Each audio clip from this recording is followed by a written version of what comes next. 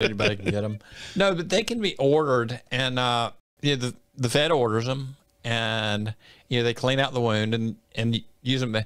Ten or twelve years ago, they were put use, using these medical mags on everything. It seemed like, and I don't see as much of it now as it, I did. But uh, they went through a phase when that first started going that it's like everybody's let's use the medical maggots.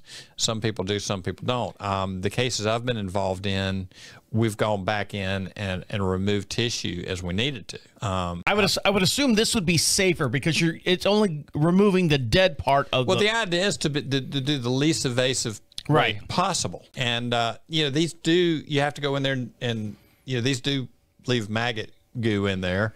And so they have to go in every couple of days and clean out the maggot goo and, and not disturb the maggots and kind of leave them in the hole and let them do their thing because, uh, you know, they're, they're cleaning it out. How long in this little hole right here? And this is part of this whole entire X-ray series that we have going on here. Right. It's and the in That, fact and it actually wasn't from the nail. It was from the the and, and From now, this. Now, when the horse ripped the shoe off, was that area damaged? Possibly, because it you know, uh, if, as far as that goes. okay.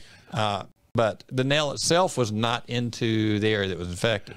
It did bend the shoe down real hard, and the horse landed on it, and and That could have that could have cracked the bone. cracked the bone, bruise, bad bruise, start or something. How long do you leave the maggots in there? Is this like a leave them in there for an hour? Do you leave them in there for a couple Oh, they'll minutes? Be, they'll be in there for probably a couple of weeks. Okay, so least. the you put the you put the maggots in there, and then you put the boot over the, bandage- maggots. Put the bandage on. Okay. Put the gauze over it. Bandage it. Put it in the boot and bandage the boot on. Then a couple of days you can take the Elastikon off, pull it out, uh, clean out what you need to clean out, and then uh, Make stir fry.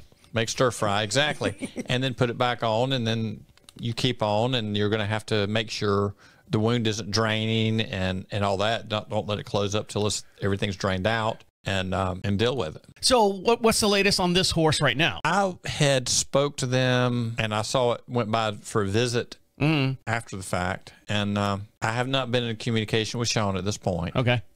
Um, as far as you know, the horse is doing okay, As far as I know, uh, or you don't know. well, what I do know is they did end up doing an infusion where they inject a inject a antibiotics directly into the leg Uh huh. And do an antibiotic infusion a couple times because apparently it re-erupted.